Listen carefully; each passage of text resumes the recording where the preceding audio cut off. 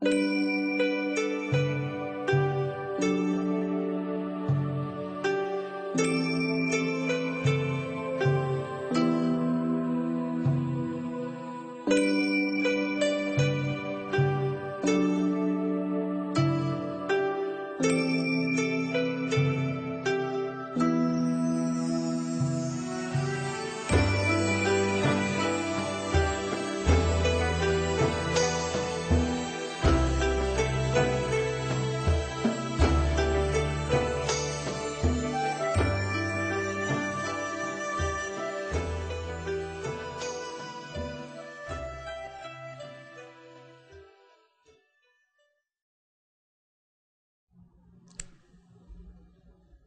诸位法师、诸位同学，大家好。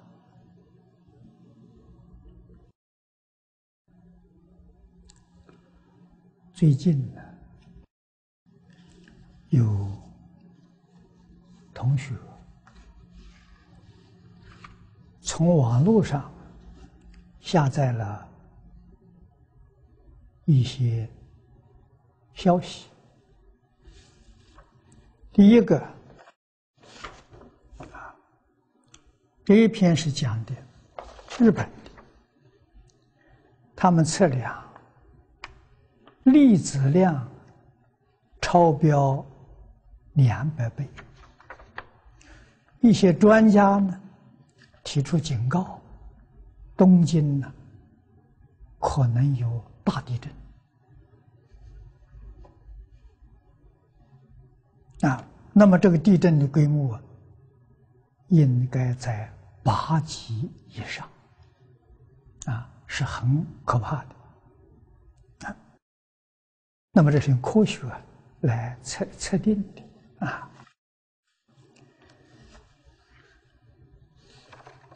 前天有个同学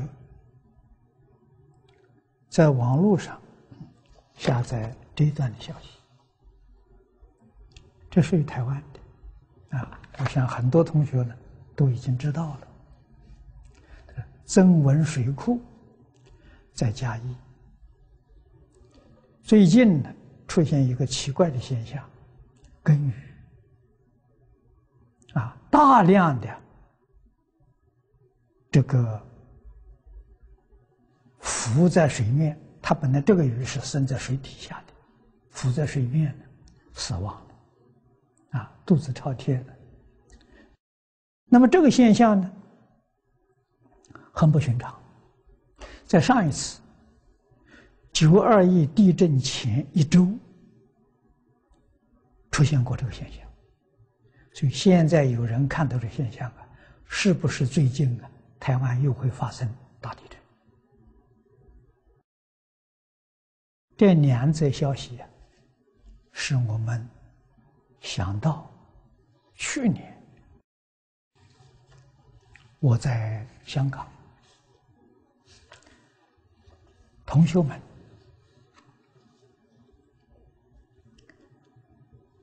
也是从网络上下载一个信息，是巴西一个预言家啊，他讲的，啊，日期都说的很清楚，九月十三号。中国南方有大地震，啊，九点一级的大地震。如果中国没有地震呢？这个地震可能发生在日本。啊，如果发生在日本呢，中国就不会有。可是去年两个地方都没有发生。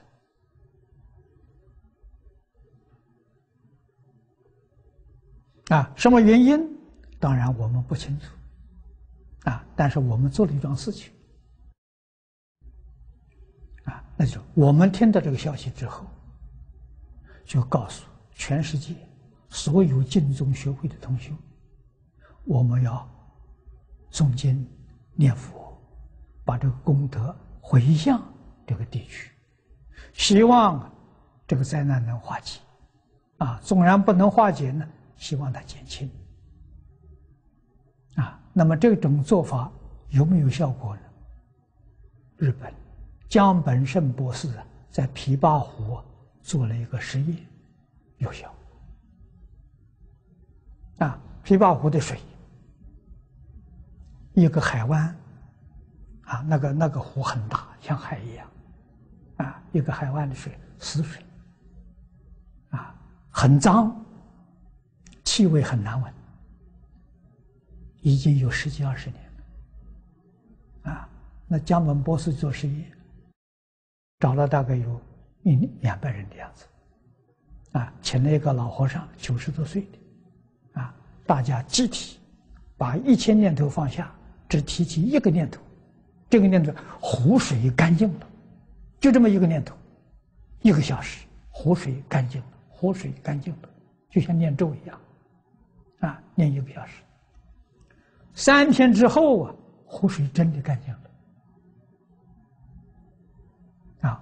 风平浪静，维持了半年，啊。江本博士说：“有效啊，真管用啊！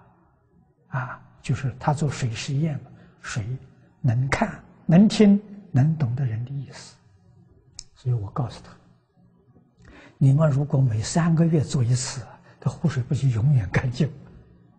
做一次，你看保存保持半年。如果是三个月做一次，它不就是长期保存下来吗？这个人。”善念重要啊！啊，这些自然灾害，其实我们刚刚学过《华严奥旨》《望境还原观》，讲的多清楚啊！啊，我们跟我们的环境、人事环境、物质环境，啊，跟整个宇宙是同一个自信、同一体。我们的念头。山河大地都知道，谁会看会听？花草树木会看会听，山河大地会看会听，乃至于虚空，他也会看会听。啊，这自然现象啊，这是佛在《大乘经》上告诉我们，一点都不假了。所以江本博士把这个实验的成果告诉我，我非常欢喜啊。我就到东京参观他的实验室，啊，告诉他，佛经上早就把这个事情说清楚、说明白了，啊，难得你今天用科学方法实验出来，啊，证明佛经上讲的是正确，不是假的，啊，所以自然灾害怎么形成的？照佛在经上讲的，是我们。这个地区的居民心行不善啊！啊，我们以恶念、恶行对待他，你看那个水对待他，反映的那个图、洁净图图案很难看呐。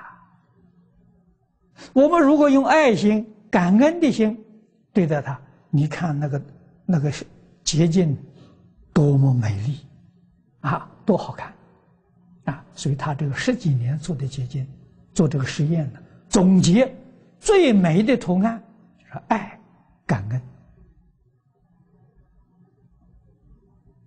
啊！如果我们能充分发挥我们的爱心，我们爱一切众生，我们爱花草树木，我们爱山河大地，那这些像这个。地震呢，风灾呀、火灾呀，啊，这些自然灾害自然就消失了。那佛在《楞严经》上告诉我们，水灾怎么来的？贪心赶来的，啊，贪婪不知足啊，赶来的水灾呀，啊，火灾呢，尘秽赶来的。啊，风灾呢，愚痴赶来的；啊，地震呢，是傲慢、啊不平所感的。啊，这佛在《大乘经》上讲的。所以，他老人家有一句话教导我们：“勤修戒定慧，熄灭贪嗔痴。”所有这些灾害呀，就化解了。把贪嗔痴变成戒定慧，灾难就没有了。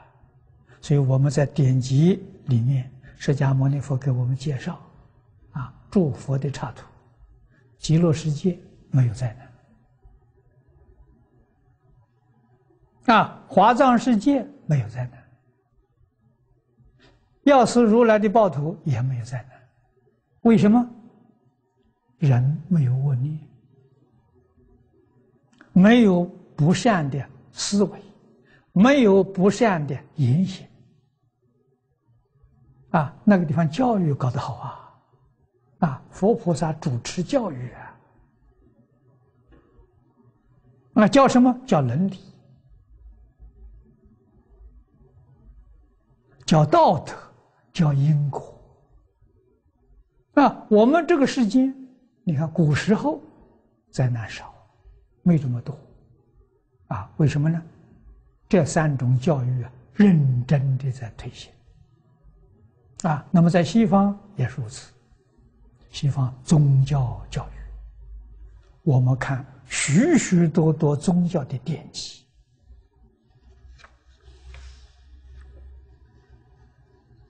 都是讲伦理、讲道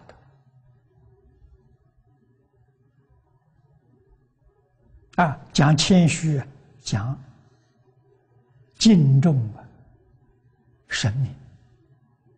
啊，其实神明不是别的，就是山河大地、花草树木，啊，芸芸众生。那么现在我们遇到灾难，特别是要想到这些山河大地，我们对不起他。由于科学技术的发达，在开垦的时候破坏了他们。我们中国人讲风水，把风水破坏了，它也有道理，不是没有道理啊，我们无所顾忌的去开垦的时候，会伤害他们，啊，他们就会报复，啊，报复就带给我们这些灾难。所以，我们应该要像佛在经典里面教导我们啊，我们心地醇厚，心地善良，一定感得大地稳固，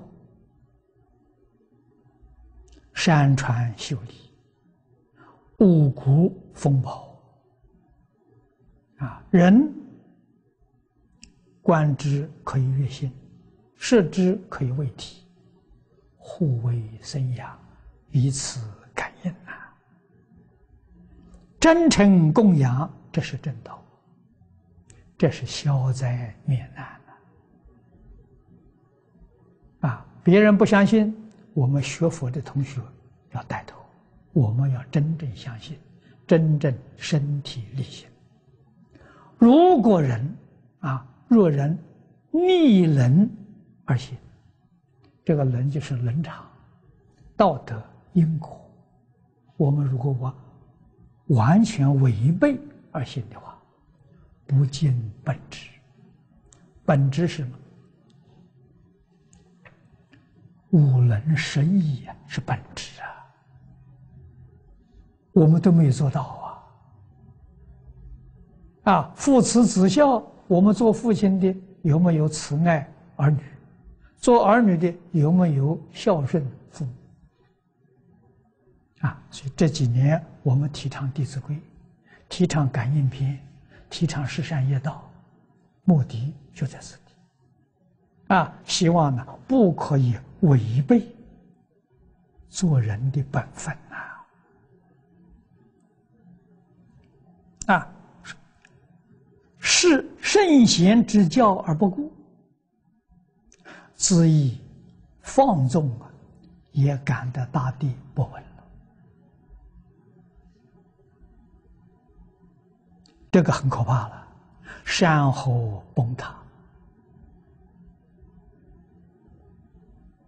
五谷无收，那就是科学家提出的警告：粮食危机会接踵而来，人深陷其中，求出无期也。同赴俱往，此乃谢也。啊，所以我们要多想想，应当要忏悔，啊，忏除业障啊，啊，要把我们做人的这个基本的职责要做出来，啊，就是要把能力做出来，把因果做出来，把道德做出来，人要像个人的样子，啊，山河大地一定恢复。我们这个世界也能像极乐世界，也能像天堂一样。啊，这是我们所有的同修啊，要多为国家祈福，多为社会大众祈福，来化解灾难。我的话就说到此地啊，希望我们认真努力去做，从自己做起。啊，从我家做起，谢谢大家。